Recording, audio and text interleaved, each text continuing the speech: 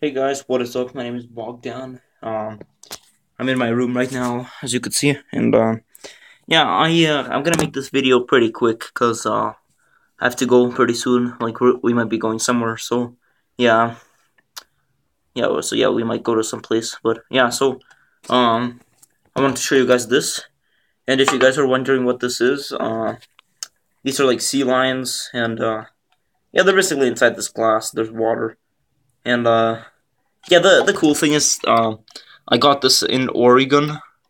So yeah, like, uh, cause uh, I I went to the USA maybe like, um, like when I went to Oregon that was like four years ago. So yeah, so I went there four years ago and I got this thing at the gift shop and uh, yeah, it's pretty cool. There's like water and stuff and uh, these cool sea lions.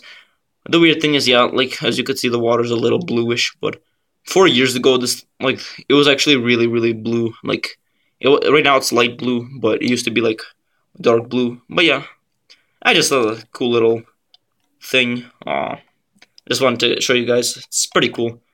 And yeah, so probably gonna go now. But yeah, I just wanted to show you guys um this thing. And uh, yeah, okay, I'll be making more videos soon. And yeah, bye.